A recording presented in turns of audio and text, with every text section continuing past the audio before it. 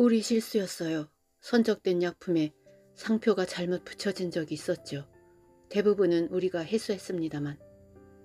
리즈가 손을 내저으며 말했다. 그게 언제 일이죠? 한 4년 됐어요. 몇 사람이나 피해를 입었나요? 100명 정도 될 겁니다. 그녀의 얼굴 표정이 바뀌는 것을 보고 리즈는 얼른 덧붙였다. 그들은 보상을 받았어요. 그들이 모두 이렇게 된 건 아닙니다. 리즈, 들어봐요. 우리도 여기서 굉장히 주의를 기울이고 있어요. 우리가 생각해낼 수 있는 모든 불상사에 대한 예방책을 강구하지요. 하지만 우리도 인간입니다. 가끔 실수가 생깁니다. 엘리자베스는 어린이의 사진을 들여다보고 있었다. 볼수록 끔찍스러워요. 편지를 보여주지 말았어야 되는 건데 리즈는 손가락으로 풍성한 검은 머리를 쓸어내렸다. 이것도 참 잊어버리기가 어려운 일이지만 그 외에도 우린 해결하기 더 힘든 문제들을 접하고 있어요. 네? 그녀는 더 중요한 문제가 뭔지 궁금했다. FDA에서 우리 회사 에어로졸 스프레이에 경고 처분을 내렸어요. 그 에어로졸은 2년 내내 완전히 판매 금지를 당한 것 같아요. 그럼 어떻게 되는 건가요? 우리한텐 타격이 큽니다. 곳곳에 세워놓은 6개의 공장이 문을 닫아야 하고 우리 수입의 큰 몫을 차지하는 품목을 잃게 되는 겁니다. 엘리자베스는 에밀 조플리와 그가 추진하고 있는 연구에 생각이 미쳤다. 하지만 아무 말도 하지 않았다. 그 밖에는요? 아침 신문 봤어요? 아니요. 벨기에 수상부인이 베넥산을 약간 복용했어요. 그게 우리 회사 약인가요? 네, 항히스타민제죠. 선천적으로 고혈압인 사람은 복용해선 안 되죠. 우리는 설명서에다 분명히 주의를 시켰어요. 그녀가 그걸 무시한 거죠. 엘리자베스는 긴장했다. 그래, 어떻게 되었나요? 의식을 잃었습니다. 살 수 없을 거예요. 신문에선 그게 우리 회사 제품이라는 얘기도 썼죠. 세계 곳곳에서 주문 취소가 쏟아져 들어오고 있어요. FDA에선 조사를 시작하겠다고 통보해 왔어요. 하지만 조사하는데 적어도 1년은 걸릴 겁니다. 그들이 끝날 때까지는 약을 팔 수가 있습니다. 전 그 약을 판매 중지시켰으면 좋겠어요. 그렇게 할 여유가 없어요. 그건 상당히 효과가 좋은 약으로. 그 약으로 해를 입은 사람은 또 없나요? 리제는 냉담하게 잘라 말했다. 수십만의 사람들이 그 약의 덕을 봤습니다. 우리 상품 중에서도 가장 효과적인. 제 질문에 아직 대답을 주지 않으셨어요. 몇 번 있긴 있었죠. 제가 기억하기론 네, 그래요. 하지만 즉시 해수해 주세요. 리즈는 화가 치밀어 오르는 것을 참느라고 한동안 그대로 앉아 있었다. 그리고 나서 말했다. 좋습니다. 하지만 그것 때문에 회사가 얼마나 손해를 보는지 알고 싶지 않으십니까? 아니요. 리즈는 고개를 끄덕였다. 여태까지는 희소식만을 전해드렸지만 좋지 않은 소식도 있습니다. 은행 사람들이 만나고 싶어 합니다. 빠른 시일 내에 말이죠. 그들은 이번에야말로 대부금을 회수하려 들 겁니다. 엘리자베스는 사무실에 혼자 앉아서 몽골리즘에 걸린 어린애를 생각하고 있었다. 로페엔 선즈가 판약을 먹고 의식을 잃은 부인 생각도 했다. 엘리자베스도 이런 사건이 비단 로페뿐만 아니라 다른 제약회사에서도 발생한다는 건 잘 알고 있었다. 비슷한 경우가 거의 매일 신문에 보도되곤 했지만 그녀는 별로 관심을 두지 않았다. 지금은 뼈저리게 책임을 느꼈다. 그녀는 그들이 호전되지 못할 경우 취해야 할 안전대책을 의논하기 위해 부서의 책임자들을 소집하기로 마음먹었다. 이건 나의 사랑스런 아들 존입니다. 마담 반덴 로흐는 무의식 상태입니다. 그녀는 깨어나지 못할 겁니다. 은행가들은 이제 또 면담을 요청하고 있습니다. 그들은 대부금을 회수하기로 결정했습니다. 그녀는 숨이 막혔다. 모든 일이 한꺼번에 그녀를 재워오는 것 같았다. 처음으로 엘리자베스는 이 당국을 헤쳐나갈 만한 능력이 자신에게 있을까 걱정이 되었다. 너무 무거운 짐이 그것도 너무 빨리 누적되었다. 엘리자베스는 의자를 돌려 벽에 걸려있는 샤무엘 할아버지의 초상화를 올려다보았다. 유능하고 자신의 차 있는 듯이 보이는 분이셨다. 하지만 그녀는 할아버지가 얼마나 해이하고 고민하고 또 절망했던가를 알고 있었다. 다만 그분은 그 모든 것을 극복하셨다. 그녀는 어떻게든 견뎌낼 수 있을 것이다. 로페 가문의 딸이니까. 그녀는 초상화가 약간 비스듬히 기울어져 있는 것을 발견하였다. 아마 엘리베이터가 떨어질 때 그렇게 되었을 것이다. 엘리자베스는 그걸 바로 잡으려고 일어섰다. 초상화의 균형을 맞추려고 하는 순간 고리가 떨어져 나가면서 그림이 마룻바닥으로 떨어지고 말았다. 그러나 엘리자베스는 지금 그림이 걸렸던 자리를 노려보고 있었다. 거기엔 소형 마이크가 부착되어 있었던 것이다. 새벽 4시 오늘 또 에밀 조플리는 그때까지 일하고 있었다. 요즘 들어 이런 일은 그의 버릇처럼 되어 있었다. 물론 엘리자베스 로페가 그에게 특별히 기한을 정해준 건 아니었지만 조플리는 이 연구가 회사의 사활에 얼마나 중요한 영향을 미칠 것인가 잘 알고 있었기 때문에 가능한 한 빨리 끝내려고 애쓰고 있었다. 그는 요즘 로펜 선지에 관해 떠도는 좋지 않은 소문을 들어 알고 있었다. 회사를 도울 수 있는 일이라면 뭐든지 하고 싶었다. 그건 그에게도 유익한 일일 것이었다. 상당한 보수와 완전한 자유를 얻을 수 있을 테니까. 그는 샘 로페를 좋아했고 그 딸도 역시 마음에 들었다. 엘리자베스 로페는 물론 알 리가 없겠지만 이렇게 늦은 시간의 연구는 조플리가 그녀에게 바치는 선물이었다. 그는 조그만 책상에 쭈그리고 앉아서 근래에 자신의 실험 결과를 검토하고 있었다. 그건 예상을 웃도는 성과였다. 그가 거기에 앉아서 일단 집중을 하면 실험실 안의 동물 우리에서 풍기는 악취도 그 진절이 나는 방의 습기도 심지어는 시간의 흐름도 전혀 알아차리지를 못했다. 문이 열리면서 밤 당번인 수위 샘 논란이 걸어 들어왔다. 논란은 이 근무를 싫어했다. 평상시에도 사람의 발길이 뜸한 실험실에 밤엔 뭔가 요기가 서려 있는 것만 같았다. 동물 우리에서 나는 냄새는 골치를 찌근찌근하게 했다. 논란은 여기서 죽어간 모든 동물들이 혼을 가지고 있다면 그것들이 다시 돌아와서 복도를 이리저리 돌아다니진 않을까 하는 생각조차 들었다. 딴 유령에 대한 보수를 따로 받아야만 하는데 이 건물 안의 사람들은 이미 집에 돌아간 지 오래다. 토끼와 고양이와 지로 가득한 우리하고 씨름하고 있는 저 정신나간 과학자 한 사람만 빼고는. 얼마나 더 계실 겁니까, 선생님? 논란이 물었다. 조플리는 그제서야 고개를 들어 쳐다보고는 논란이 들어왔다는 것을 알았다. 네? 뭐라고 했나요? 여기 계속 계실 거라면 샌드위치나 뭐 그런 걸 좀 갖다 드릴까 해서요. 잠시면 군의 매점에 다녀올 수 있으니까요. 그럼 커피 한 잔만 부탁합니다. 조플리는 이내 차트로 눈길을 돌렸다. 논란이 말했다. 갔다 오는 동안 문을 잠가놓고 가겠습니다. 곧 오겠어요. 조플리는 그의 말을 미처 듣지 못했다. 10분쯤 뒤에 실험실 문이 열리면서 목소리가 들렸다. 아직 일을 하고 있군, 에밀. 조플리는 놀라서 쳐다보았다. 그가 누구인가를 알아차리자 그는 당황해서 일어서며 말했다. 네, 선생님.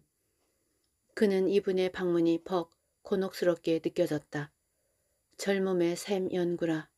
1급 비밀? 어? 에밀은 망설였다. 미스 로페는 아무에게도 말하지 말라고 했지만 물론 이분까지 포함시킨 건 아니겠지.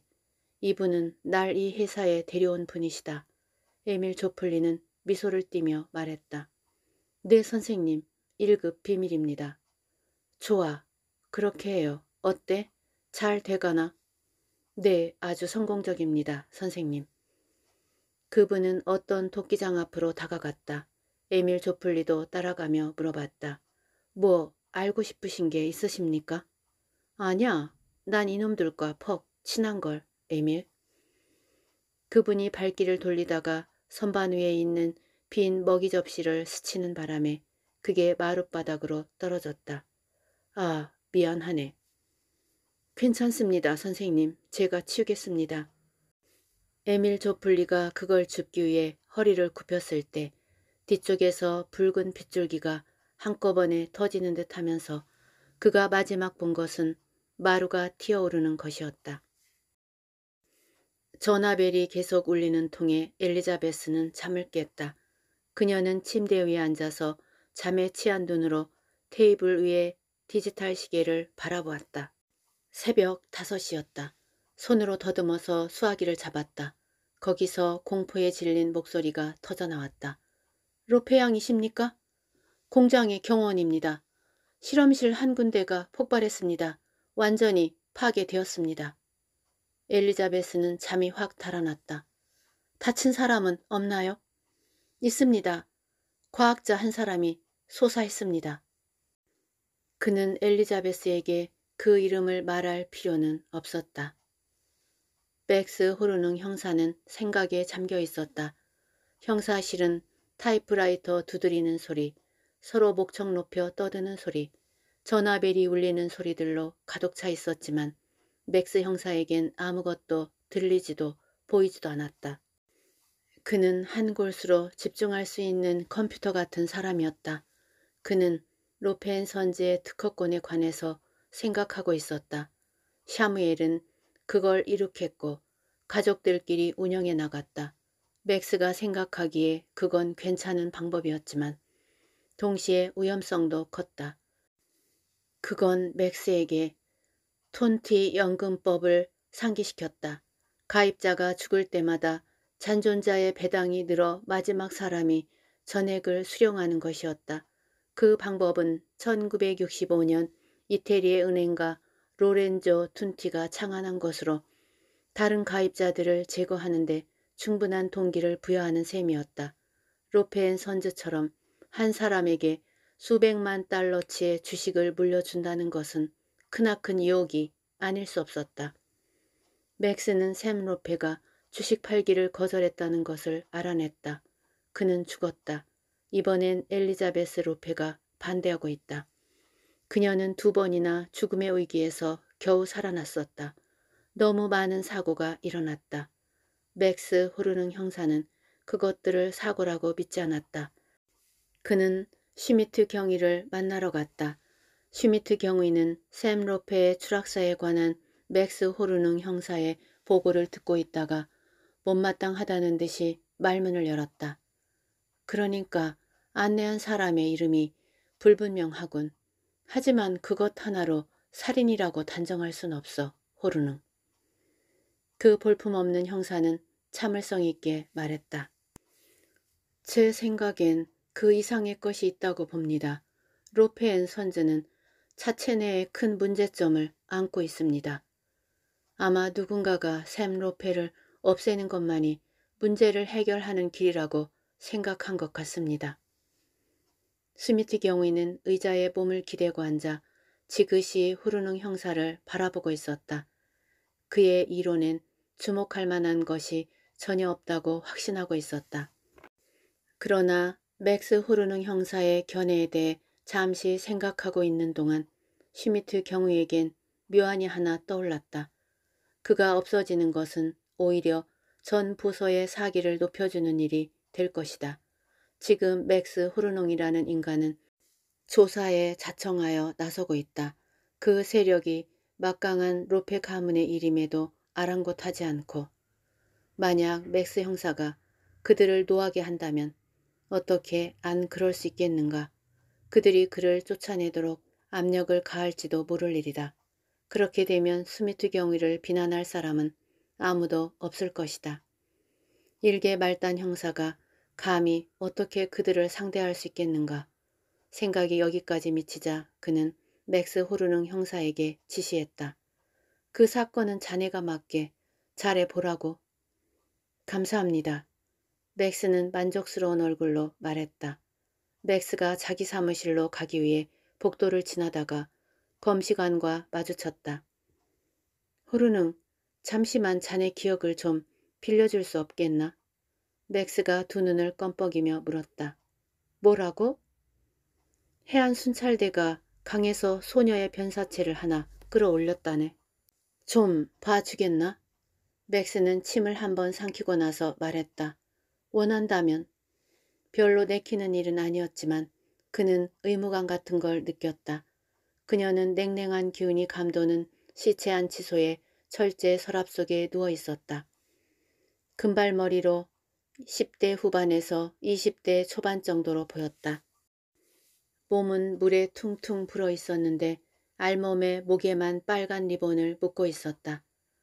죽기 바로 직전에 성행위를 한 흔적이 있어 목 졸라 죽인 후에 강에다 던졌어. 검시관은 설명을 계속했다. 폐 속엔 물이 차 있지 않아 지문은 하나도 채취하지 못했어. 이 여자 본 일 없어? 맥스는 머리를 숙여 소녀를 들여다본 후 말했다. 없어. 그는 공항행 버스를 타기 위해 떠났다.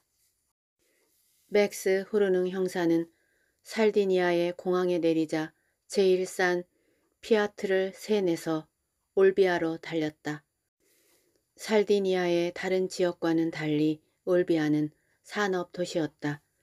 교외에는 정미소와 공장들이 제멋대로 뻗쳐 있고 쓰레기 하치장, 폐차장도 있었는데 한때는 아름다운 자동차였겠지만 이제 아무짝에도 쓸모없이 되어버린 세부치들이 질비하게 널려 있었다. 이 세상의 수많은 도시는 모두 폐차장을 소유하고 있다고 맥스는 생각했다. 그건 문명의 기념비였다. 맥스는 차를 시내로 몰아 한 건물 앞에 멈추었다. 거기엔 올비아 경찰지서라고 쓰여 있었다. 그걸 보면서 맥스는 잠시 소속감이랄까 친근감이랄까 그런 느낌에 젖었다. 그는 입구 책상에 경관에게 신분증을 보여준 후 이내 지서장 루이지 페라로에게 안내되었다. 페라로는 얼굴에 호의적인 미소를 머금으며 일어서서 그를 맞았다. 하지만 방문객을 보는 순간 그런 표정은 가셨다. 도저히 형사로는 보이지가 않는다는 듯한 태도였다. 페라로 서장은 정중하게 말했다. 저 신뢰가 되지 않는다면 신분증을 좀 봐도 되겠습니까? 그럼요. 맥스는 신분증을 꺼내주었고 페라로는 앞뒤면을 조심스럽게 살펴본 후 다시 돌려주었다. 그러면서 스위스 정부는 형사 대접이 말이 아닌가 보다는 생각을 했다. 그는 자리에 앉으면서 물었다. 어떻게 오셨습니까? 맥스는 유창한 이태리어로 얘기하기 시작했다. 그런데 문제는 페라로 서장이 맥스의 말을 별로 알아들을 수 없다는 데 있었다. 서장은 손을 내저으며 말했다. 이것 봐요. 영어 할 줄 아시오? 아, 물론입니다. 그럼 좋아요. 우리 영어로 얘기합시다. 맥스가 얘기를 하는 도중 서장이 말을 끊었다. 선생, 그건 잘못 아셨소. 내가 장담하는데 선생께선 지금 시간을 낭비하고 있는 거요. 우리 기사가 이미 그 지푸는 다 조사해 봤어요. 모두들 사고였다고 결론을 내렸어요. 맥스는 침착한 태도로 고개를 끄덕이며 말했다. 난 그렇게 보지 않아요. 좋아요. 그 차는 지금 시립 차고에 있어요. 경매에 붙여졌고 사람을 하나 딸려 보내드릴 테니 함께 가보세요. 사고 현장도 보시겠습니까? 맥스는 눈을 깜빡깜빡 하더니 물었다. 무엇 뭐 때문에요? 브르네 형사가 맥스를 안내하기로 했다. 그는 말했다. 우리는 벌써 그 사건을 검토해 봤는데요. 그건 사고였습니다. 아닙니다. 맥스는 대꾸했다. 지프는 앞쪽 중유기가 움푹 패이고 사방에 흙탕물이 튄 채 차고 구석에 버려져 있었다. 아직 손을 볼 시간이 없어서요. 기사가 다가와서 설명했다. 맥스는 지프 주위를 한 바퀴 돌면서 그걸 들여다봤다. 어떻게 브레이크가 고쳐졌나요? 그 기사는 신경질적인 목소리로 말했다. 댁에서도 형사인가요? 난 25년 자동차 정비사로 일해왔습니다. 선생님, 누군가 이 브레이크를 만진 것은 이 차가 공장을 빠져나올 때가 마지막이었겠죠. 아니에요. 누군가 손을 댔어요. 어떻게요? 정비사는 침을 튀기며 따지듯이 물었다. 그건 아직 나도 몰라요. 하지만 밝혀지겠죠. 맥스는 자신있게 말했다. 그는 지프를 다시 한번 훑어본 다음에 차고를 떠났다. 루이지 페라로 서장은 브루네 형사가 도착하자 물었다. 그래, 그 사람하고 뭘 하고 다녔나? 전 한 일이 없습니다. 전 그 형사와 함께 차고로 갔는데 그가 엉뚱한 것만 물어보는 바람에 정비사한테 한바탕 웃음거리만 됐습니다. 그러더니 혼자 산보를 좀 해야겠다며 가버렸습니다. 기가 막히는군. 맥스는 해변가에 서서 에메랄드 빛의 티레니아 해를 망연히 바라보고 있었다. 그는 정신을 가다듬고 조각조각들을 꿰어 맞추느라 바빴다. 그건 마치 수수께끼를 푸는 것과도 같았다. 지프는 비록 예양은 작지만 수수께끼에서는 중요한 부분을 차지하고 있었다. 그 차의 브레이크는 노련한 정비사들이 조사했다. 맥스는 그들을 정직성이나 능력 면에서 의심할 여지가 없다고 보았다. 그러니까 그는 지프의 브레이크에 아무도 손을 댄 사실이 없다는 것을 받아들여야만 했다. 하지만 엘리자베스가 지프를 몰고 있었고 누군가 그녀를 죽이려 한다는 점을 미루어 볼 때 동시에 차에 손을 댄 사람이 있다는 사실도 받아들여야만 했다. 손을 댔을 가능성은 희박했다. 하지만 누군가가 해낸 것이다. 맥스 앞엔 아주 머리가 잘 돌아가는 그 누가 버티고 있는 것이었다. 그게 맥스로 하여금 구미가 더욱 당기게끔 했다. 맥스는 모래밭으로 걸어 나와서 커다란 바위 에 자리를 잡고 앉아 눈을 감고 다시 정신을 집중시키기 시작했다. 우선 각 사건마다에 초점을 맞추고 수수께끼의 조각들을 이리저리 변경을 하기도 하고 분해도 시켜보고 다시 맞춰나갔다. 20분 후에 드디어 마지막 조각까지 제자리에 맞춰졌다. 맥스는 눈을 떴고 만족한 얼굴로 중얼거렸다. 브라보. 나는 그 사람을 만나야만 한다. 그 후에 맥스 호르능 형사는 들를 데가 두 곳 있었다.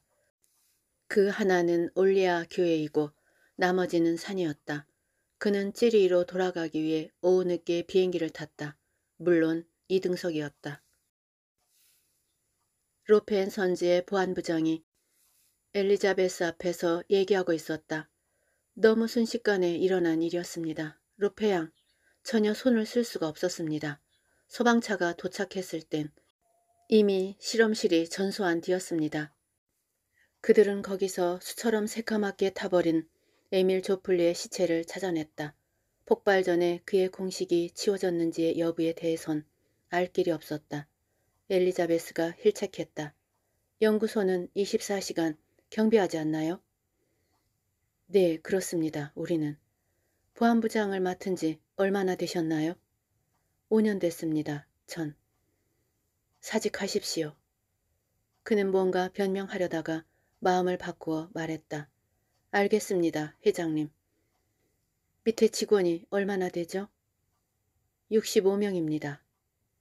65명.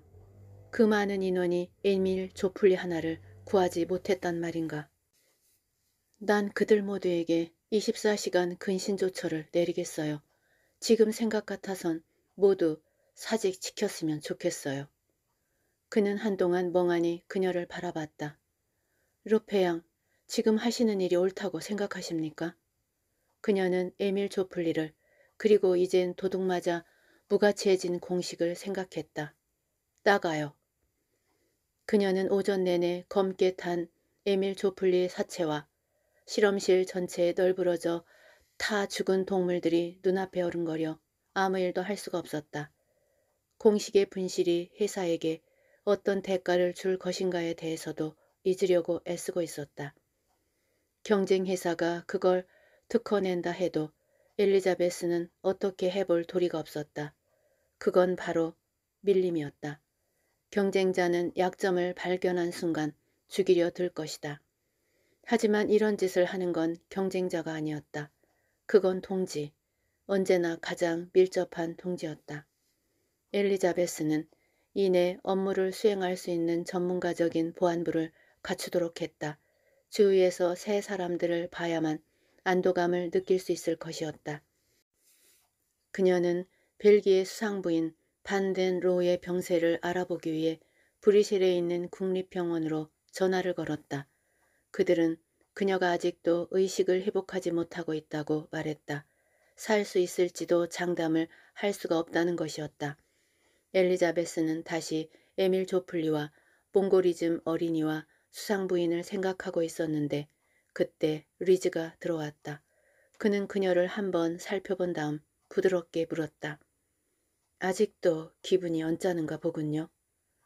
고개만을 끄덕이는 그녀의 모습은 정말로 가엾어 보였다. 리즈는 그녀 곁으로 다가가 말없이 바라보았다. 그녀의 얼굴은 까칠한 게 피곤해 보였다. 그는 얼마나 더 그녀가 버틸 수 있을지 걱정되었다. 그는 엘리자베스의 손을 잡아주며 따뜻한 표정으로 얘기했다. 내가 뭐 도와줄 일이 없겠어요? 전부 다해요. 엘리자베스는 생각했다. 그녀는 너무나 절실하게 그가 필요했다. 엘리자베스는 그의 팔에 안겨서 이제까지 일어난 모든 일을 다 털어놓고 싶었다. 바로 그 순간이었다. 반된 로 부인에겐 차도가 없답니까? 순간은 지나갔다. 네. 윌 스트리트지 기사 때문에 찾아온 사람은 없습니까? 무슨 기사인데요? 아직 못 봤나요? 네. 리즈는 복사한 것을 가지러 사무실에 사람을 보냈다. 그 기사는 로펜 선지의 최근 문제점들을 일일이 열거하고 있었지만 주안점은 회사를 운영할 만한 경험 있는 사람이 필요하다는 거였다. 엘리자베스는 신문을 덮었다. 이걸로 얼마나 피해를 입게 될까요? 리즈는 어깨를 한번 으쓱했다. 이미 손해는 입었습니다. 그건 보고일 뿐입니다. 우리는 상당량의 시장을 잃었습니다. 우리는. 인터폰이 울렸다. 엘리자베스가 스위치를 누르며 대답했다. 네? 줄리어드 바드로트 씨가 전화하셨습니다. 2번 전화입니다. 급한 일이시랍니다. 엘리자베스는 리즈를 올려다보았다. 그녀는 은행 사람들과 만나는 것을 미루어 왔었다. 전화 받으시죠? 그녀는 수화기를 들었다. 안녕하세요. 바드로트 씨. 안녕하세요. 오후에 시간 좀 내실 수 있을까요? 수화기를 통해 들려오는 그의 목소리는 착 가라앉아 있었다. 아, 전. 좋습니다. 그럼 오늘 오후 4시면 어떨까요? 엘리자베스는 잠시 망설였다. 그래요. 4시로 하죠. 바드로트는 갈라져 나오는 목소리를 가다듬으려고 헛기침을 한번 하고 나서 말했다. 조플리 씨 얘기 들었습니다. 참, 안 되었습니다. 폭발에 관한 신문 기사에 조플리의 이름은 나와 있지 않았는데 그녀가 천천히 수화기를 내려놓는 모습을 지켜보고 있던 리즈가 말했다. 상어가 피 냄새를 맡았군요. 오후엔 전화벨이 잠시도 쉬지 않고 울려댔다. 알렉이 전화했다. 엘리자베스, 오늘 아침 신문 봤어요? 네, 월 스트리트지는 과장이 좀 심했더군요. 잠깐 사이를 두었다가 알렉이 말했다. 난 지금 월 스트리트 얘기를 하고 있는 게 아니에요. 파이낸셜 타임즈에서 로페 앤 선즈 얘기를 톱 기사로 다루었는데 내용이 썩 좋지 못해요. 전화가 끊일 새 없어요. 계속 주문 취소가 밀어 닥치는데 우리는 어떻게 할 거지? 제가 다시 연락드릴게요, 알렉. 엘리자베스는 약속했다. 다음엔 아이보가 전화했다. 놀라지 말아요, 엘리자베스. 난 이미 각오가 되어 있다고 그녀는 말해주고 싶었다. 뭔데요? 이태리 은행 사람 하나가 뇌물 수수죄로 바로 몇 시간 전에 체포되었어요. 미안하게 됐다는 투로 아이보는 계속 말했다. 사실 우리 잘못은 없었어요. 그 사람이 너무 욕심이 많은 데다가 부주의를 했던 탓이지요. 해외로 돈을 빼 돌리려다가 공항에서 붙잡혔어요. 그들은 그 돈이 우리한테서 나갔다는 걸 밝혀냈어요. 아무리 각오는 하고 있었다고 하지만 엘리자베스는 역시 충격을 받았고 도무지 이해할 수가 없었다. 우리는 왜 그 사람한테 뇌물을 줘야만 했나요? 아이보는 사실대로 말했다. 그래야만 우리가 이태리에서 사업을 벌일 수가 있거든요. 여기 현실은 그래요. 우리가 뇌물을 주려고 한 건 죄가 되지 않아요. 받은 사람이 잘못이지. 그녀는 의자에 몸을 기댔다. 머리가 지끈지끈 아파오기 시작했다. 그래, 지금 어떻게 하고 있나요?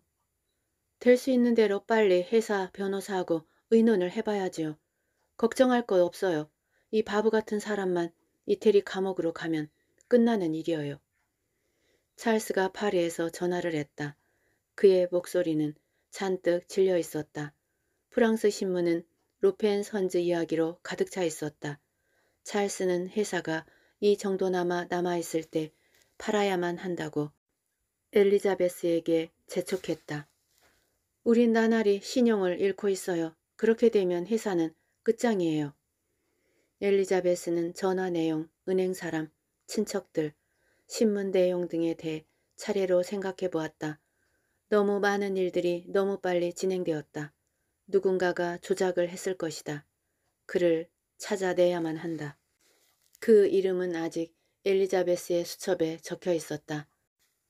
마리아 마티넬리. 그녀는 스위스에서 엘리자베스와 같은 학교를 다녔고 키가 크고 늘씬한 이태리 소녀로 기억에 남아 있었다. 그들은 졸업 후에도 가끔가다 서로 소식을 전하곤 했었다. 마리아는 모델이 되었고 그녀는 편지에다 밀라노에서 출판업을 하는 사람과 약혼했다고 썼었다. 엘리자베스는 15분 후에 마리아와 통화가 되었다. 의례적인 인사가 오고 간 다음에 엘리자베스가 물었다. 너 아직도 전에 그 사람하고 약혼 중이니? 그럼 토니가 이혼만 되면 우린 곧 결혼할 거야. 그러면 내 부탁 하나 들어줄래, 마리아? 말해봐. 한 시간도 못 되어 마리아한테서 다시 전화가 걸려왔다. 네가 얘기한 거 알아봤어. 현금을 갖고 이태리 밖으로 도피하려던 은행가가 한 사람 구속됐대. 토니 얘기로는 어떤 사람이 국경 경찰에다가 정보를 제공했다는구나. 그 사람 이름을 알 수 있을까? 아이보 팔라츠라고 하던데. 맥스 호르능 형사는 재미있는 사실을 하나 발견했다. 로페 앤 선즈 실험실의 폭발 사건은 방화였으며 리라엑스라고 불리우는 폭발물에 의한 것이었다. 한데 이 리라엑스라는 물건은 오로지 군용으로만 제조하는 것으로 민간인은 입수할 수가 없는 거였다. 또 한 가지 맥스의 호기심을 자극하는 건 리라엑스가 로페 앤 선즈 소속의 한 공장에서 제조된다는 점이었다. 그건 전화 한 통만으로 쉽게 확인이 되었다. 그 공장은 파리 교외에 있었다. 4시 정각 줄리어스 바드루트는 깡마른 몸을 의자에 앉히자마자 본론으로 들어갔다. 로페양, 우리가 당신에게 호의를 베푸는 것만큼 우리에겐 주주들에게 우선권을 제공할 책임도 있습니다. 엘리자베스는 이 말을 들으면서 그들이 자기네들의 저당물을 유질 처분할 때 미망인이나 그 자녀들에게 써먹는 수법의 일종이라고 생각했다. 하지만 이미 예상한 바였다. 바드로트가 덧붙였다. 그래서 우리 이사회에선 저에게 로펜 선즈가 이내 경고 처분을 받게 될 것을 통고하도록 했습니다. 90일은 여유가 있는 것으로 알고 있는데요. 안 됐습니다만 우리가 보기엔 상황이 자꾸 악화하는 것 같습니다.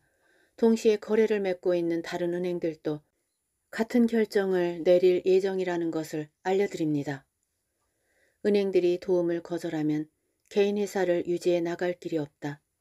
로페양, 이렇게 좋지 못한 소식을 전하러 와서 안 됐습니다만 직접 뵙고 말씀드려야 한다고 느꼈습니다. 물론 아시다시피 로페인 선즈는 아직도 강하고 단단한 회사입니다. 줄리어스 바드로트는 고개를 한번 까딱했다. 물론 대회사지요. 그런데도 더 이상 시간 여유를 줄 수 없다는 거군요. 바드로트는 잠시 동안 그녀를 응시하다가 말했다. 은행에선 회사가 지금 안고 있는 문제가 그렇게 까다로운 것들이라고는 생각지 않습니다. 로페양. 그러나 그러나 그걸 해결할 인재가 없다는 말씀이십니까? 정확한 판단이 아니기를 바랍니다만 그는 몸을 일으켰다. 그럼 누가 로펜 선제 회장 자격이 있다고 생각하십니까? 그는 머리를 흔들었다.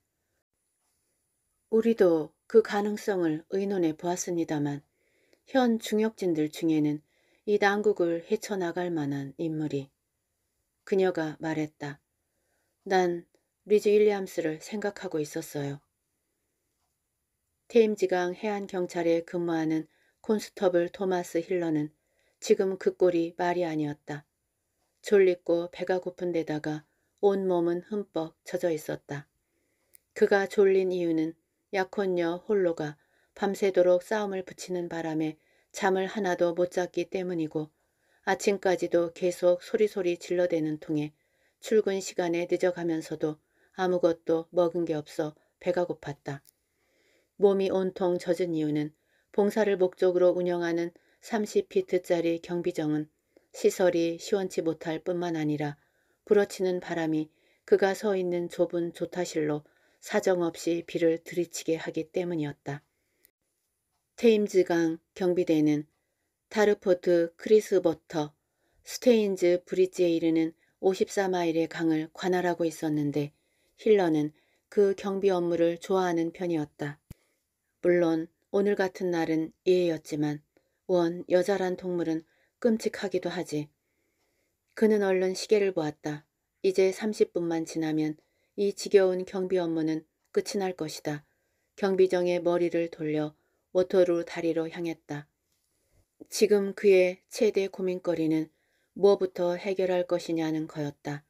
잠을 우선 잘 것이냐, 배부터 채울 것이냐 아니면 훌로와 한판 버릴 것이냐 그야 뭐 한꺼번에 해치울 수도 있겠지.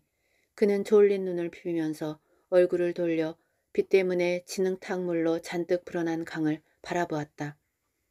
그건 어렴풋이 시야에 들어왔다. 마치 커다란 물고기가 뒤집어져 허연 배가 드러나 있는 것처럼 보였는데 그걸 보면서 콘스터블 힐러에게 떠오른 것은 저걸 우리 배로 끌어올린다면 악취가 풍길 거라는 생각이었다. 그건 우연의 10야드쯤 떨어진 곳에 있었고 경비정은 차츰 멀어지고 있었다. 그가 얘기를 꺼내면 그로 인해 퇴근 시간이 늦어질 것이었다. 그들은 배를 멈추고 그것을 잡아서 배 위에 끌어올리든지 뒷꽁무니에 메어 달든지 해야 할 테니까. 어찌되든 홀로를 만나는 시간이 늦어진다. 좋아. 못 본 척하지. 그렇지만 어떻게 그럴 수가 있겠는가. 어떻게. 그들은 점점 멀어지고 있었다. 콘스터블 힐러는 소리쳤다. 어이 경사. 우연에서 20도 방향으로 물고기가 하나 떠있어. 큰 상어같이 보이는데. 100마력짜리 디젤 엔진은 갑자기 속도를 늦추었다. 게스킨스 경사가 다가오며 물었다. 어디 있어? 희미한 모습은 사라지고 없었다. 아마도 빗줄기에 묻힌 모양이었다. 저쪽이었어. 게스킨스 경사는 좀 망설였다. 그도 역시 퇴근 시간에 신경이 쓰였다. 그냥 그 망할 놈의 물고기를 모른 척 해버리고 싶은 충동이 있었다. 항해에 방해가 될 정도로 크던가? 콘스터블 힐러의 마음속엔 갈등이 생겼다. 응, 그럴 것 같아. 결국 경비정은 방향을 돌려 그것이 보였던 곳으로 천천히 다가갔다. 뜻밖에도 그건 그들이 서 있는 뱃머리 쪽에서 불쑥 떠올랐다. 그들은 동시에 그걸 내려다보았다. 그것은 어린 금발 소녀의 시체였다. 그녀는 부풀어 오른 목에 맨 빨간 리본을 빼고는 알몸이었다. 콘스터블 힐러와 게스킨스 경사가 런던에서 10마일쯤 떨어진 테임즈 강에서 살해된 소녀의 시체를 끌어올리고 있을 무렵 맥스 호르능 형사는 회백색의 대리석 건물인 뉴스코틀랜드 야드의 입구를 들어서고 있었다. 유서 깊은 문을 지날 때는 자부심마저 느꼈다. 맥스는 영국 사람을 퍽 좋아하는 편이었다. 오직 하나 문제가 있다면 그들과 의사소통을 하는 일이었다. 입구 쪽 책상에 앉아있던 경관이 물었다. 어떻게 오셨습니까, 선생님? 데이비드슨 경위님과 약속이 되어 있는데요. 이름을 다시 한번 얘기해 주시겠습니까, 선생님? 맥스는 천천히 그리고 똑똑 끊어서 말했다. 데이비드슨 경위.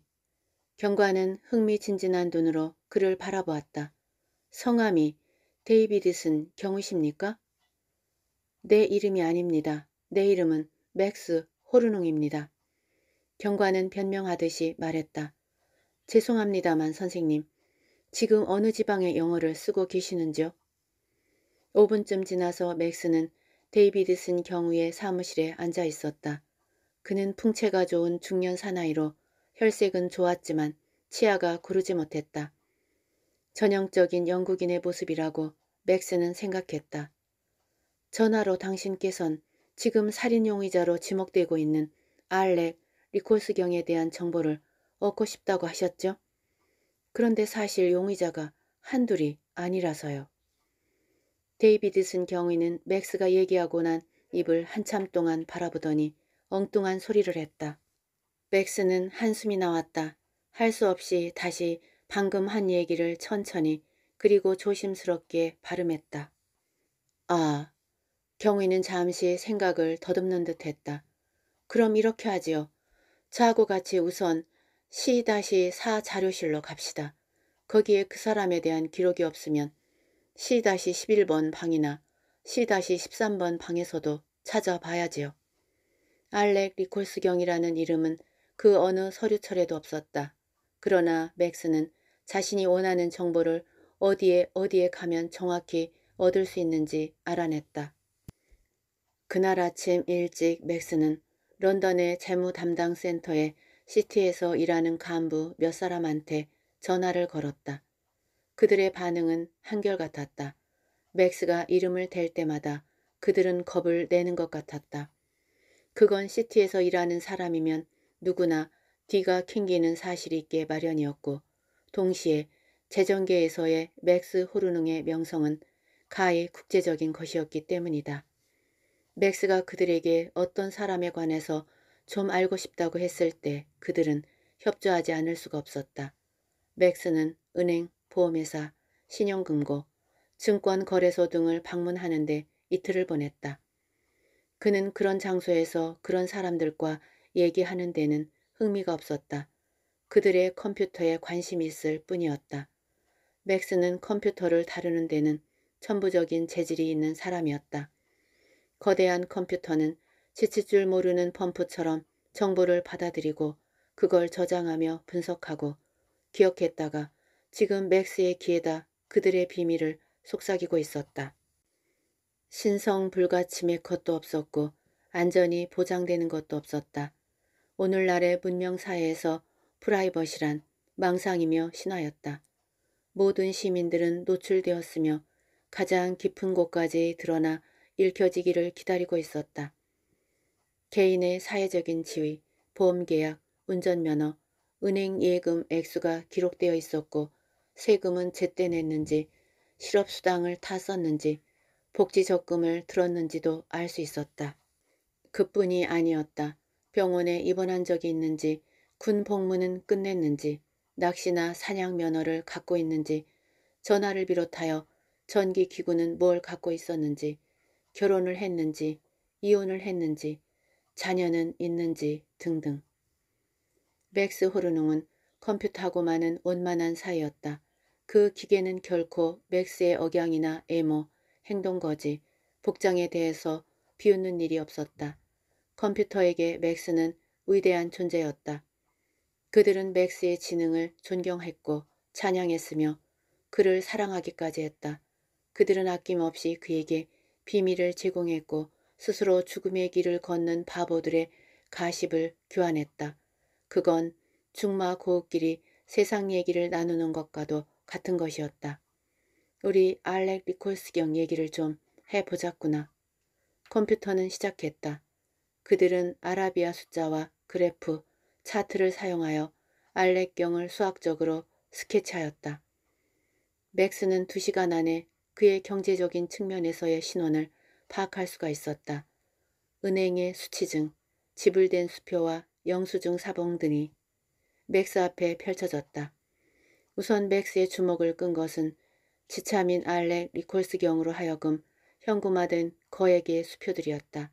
그 많은 돈이 다 어디로 갔단 말인가? 혹시 사업이나 세금 공제 아니면 개인적으로 지출한 것인가 하고 생각했으나 그게 아니었다. 그는 소비 목록을 다시 한번 훑어보았다.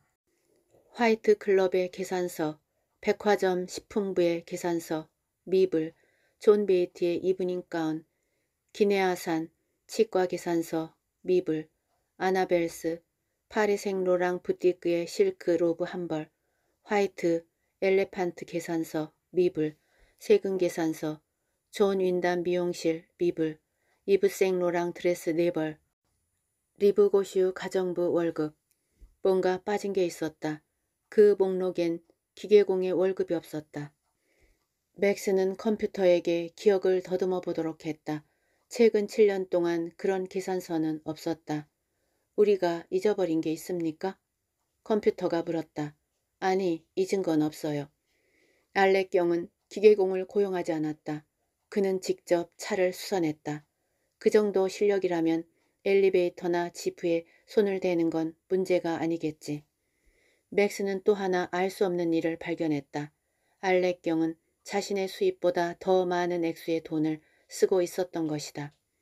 맥스는 시티에서 근무하는 친구의 힘을 빌어 이틀 후에 그 이유를 알았다. 알렉경은 소호에서 클럽을 경영하는 토드 미카엘로부터 돈을 빌었던 것이다. 맥스는 경찰 컴퓨터로 다시 돌아와서 물어봤다. 듣고 난 후 컴퓨터는 대답했다. 네, 우리는 토드 미카엘에 대한 정보를 갖고 있습니다. 전과가 몇 번 있지만 정식으로 유죄 판결을 받은 적은 없습니다.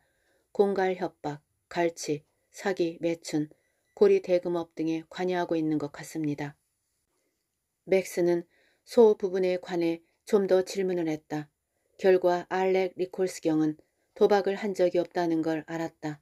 다만 그의 부인이 했다는 것도. 알렉 리콜스경이 협박을 당하고 있었으리라는 것은 의심할 여지가 없었다.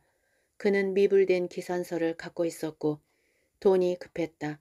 아울러 팔 수만 있다면 수백만 달러에 해당하는 주식을 가지고 있었다.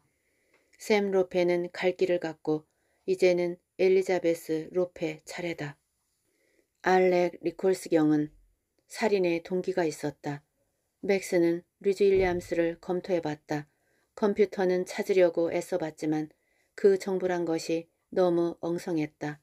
남성, 웨일즈 태생, 34세, 미혼, 로페 앤 선즈의 간부 직원, 연봉 8만 달러의 보너스, 런던은행의 저축 잔액 2만 5천 파운드, 수표 잔액 800 파운드, 취리히 안전 공탁금 구좌가 있으나 내용을 알 수 없음.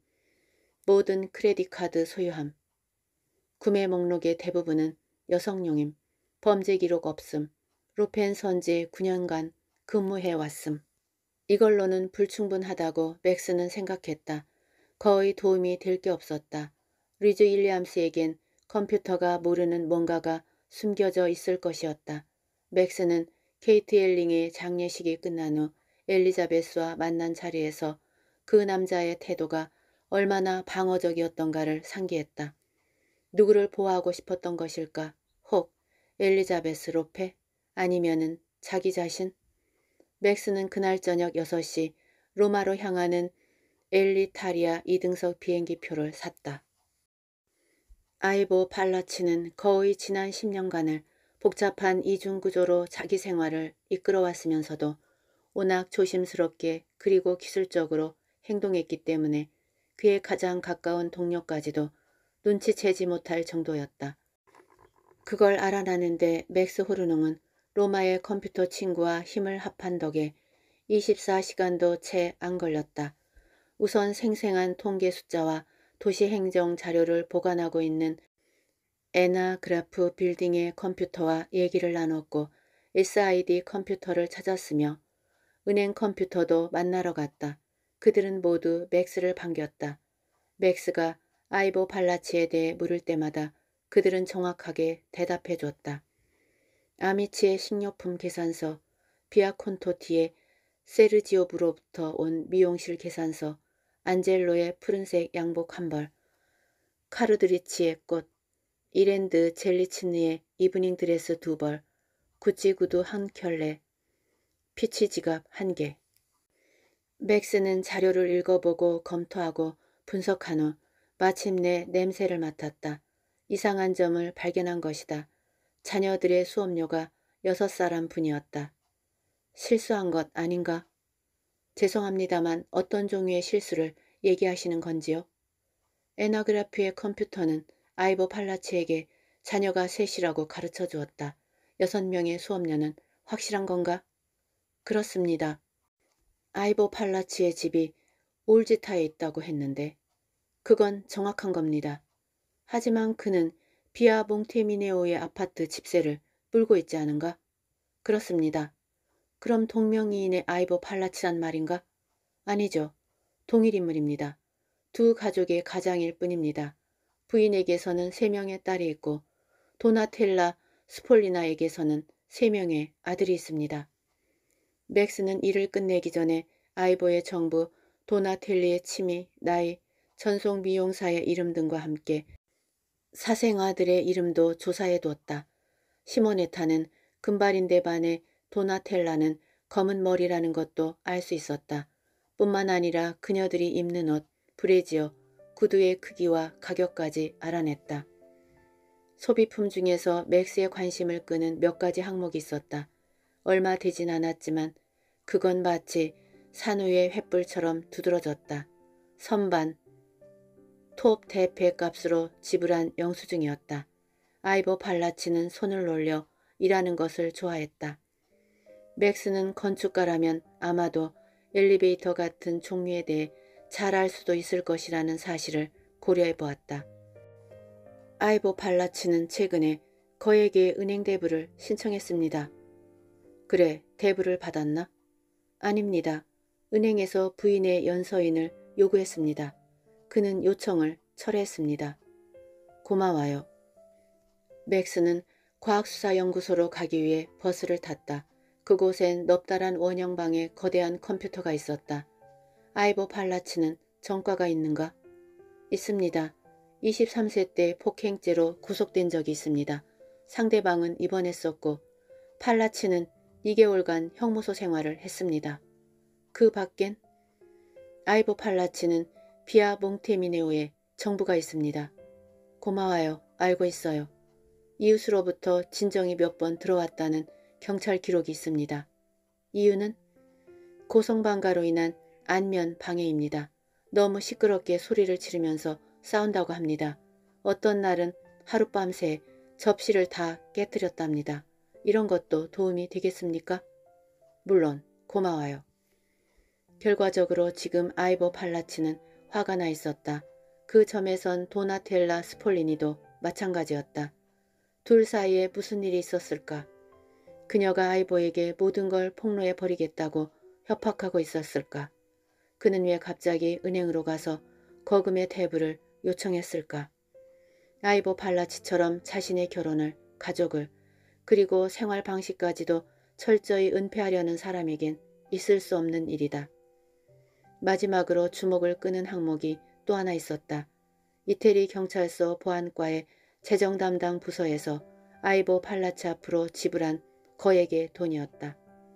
그건 사례금의 일종이었는데 아이보가 정보를 제공해준 은행가에서 회수한 돈에 대한 구전이었다. 아이보가 돈 때문에 절망 상태에 있었다면 그런 짓인들 어째서 못했겠는가. 맥스는 컴퓨터 친구들에게 작별을 구하고 정오엔 파리로 향하는 에어프랑스에 타고 있었다.